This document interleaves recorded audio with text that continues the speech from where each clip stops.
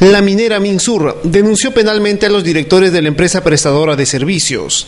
El asesor legal de la EPS, Iván Liendo, confirmó que los funcionarios asistieron al Ministerio Público a declarar sobre la denuncia. Los señores directores, eh, respetuosos de las disposiciones emanadas por el órgano jurisdiccional, es que han acudido a declarar su eh, manifestación ante la Fiscalía que está viendo el caso. La EPS interpuso una acción de amparo pidiendo el cese de las operaciones de la empresa Minsur. La acción legal se dio porque el proyecto Pucamarca iba a contaminar el agua que se distribuye en Tacna. La minera se sintió afectada y por eso denunció a los funcionarios. Minsur ha hecho una denuncia al gerente general de la EPS Tacna, como al que está al suscrito, como también a los miembros del directorio.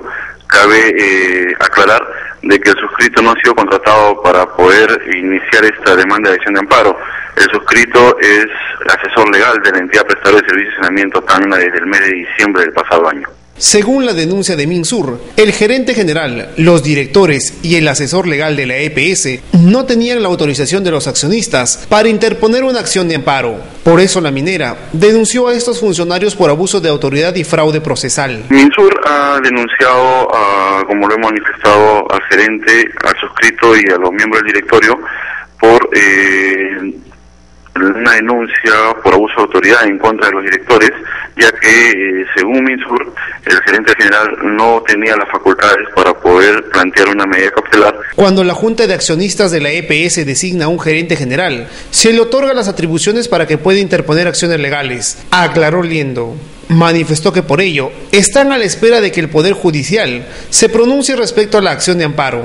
Estamos a la espera de que el órgano jurisdiccional, tanto la Sala Transitoria Civil como el primer juzgado civil, se pronuncien respecto a la sentencia en acción de amparo y la Sala Transitoria respecto a la apelación que planteó Minsur con las excepciones que fueron declaradas infundadas por el primer juzgado civil de Tandil.